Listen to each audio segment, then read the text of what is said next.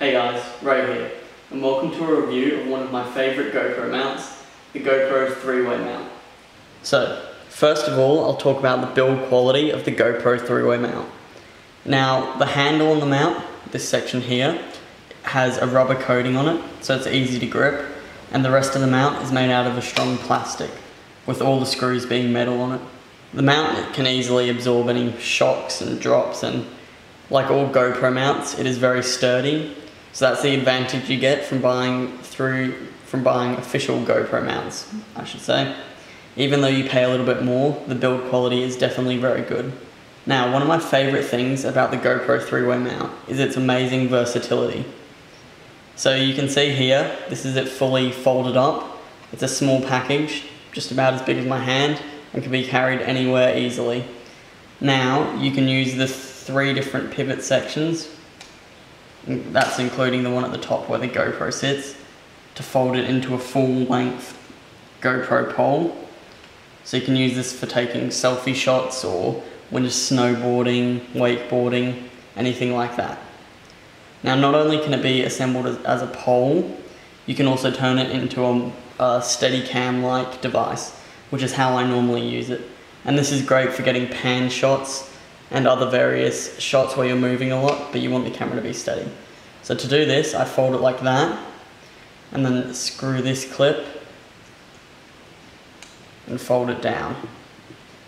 Now you'll see that the GoPro would sit here, and you can easily do super steady pans with no trouble. The mount can also just be folded down all the way like I had it before, and there's a little button on the side that you use if you want to fold it all the way down. And be used as a just a regular small GoPro pole say if you're in the surf. That's what this is great for. The last feature on the GoPro three-way mount that I think is really awesome is the attachable tripod. Now if you see down the bottom here there's a little screw and if you unscrew it out comes a little tripod stand. You simply turn it around, screw it back in, and you have yourself a functioning tripod. Now the tripod sits very stable when it's like this and you can attach your GoPro for doing long time lapses or even pan shots if you want to just use the tripod and turn it slowly you can get some nice pans. The only issue is the legs aren't very strong on this so it doesn't hold up in high wind I tested it out at Byron Bay Lighthouse and had a bit of trouble there, but other than that, it's very sturdy still. There are a few other things about the GoPro 3-way mount that I don't really like. The main issue with it is that it tries to do so many different things at once that it doesn't do any of those particularly well. As a tripod, it is fairly stable, but when you set it up in wind, the legs that come out of the bottom here don't really stand up, and the GoPro kind of shakes around and the tripod can fall over. As a stabilizer, even though the footage you get can look pretty smooth, I have had to apply post-processing smoothers to make the footage look good, and you can get a bit of shake with your hand. And as a pole, even though the GoPro 3-way mount is fairly sturdy, sometimes if you shake it around a lot when you're skiing or snowboarding, the position can change, and it is kind of hard to get the exact position you're looking for. Overall though, I still think that the GoPro 3-way mount is an excellent mount to have.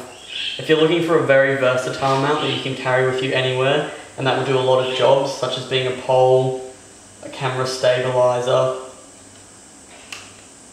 a tripod, you can pretty much set it up any way you want and use it for many different angles and techniques. The build quality is very good like I stated at the start, and even though it has a few negatives attached to it, it is a very good mount overall. Now it retails for about 94 Australian dollars and you can buy it either from the GoPro official website or from Amazon. Thanks for watching guys. I hope you liked this short review of the GoPro 3-way mount. If you have any more questions, feel free to comment below. And if you enjoyed this video, don't forget to leave a like. Also, make sure you subscribe to my channel so you don't miss a video. I'll be releasing new videos every week, so stay tuned for those. Cheers for watching. See you later.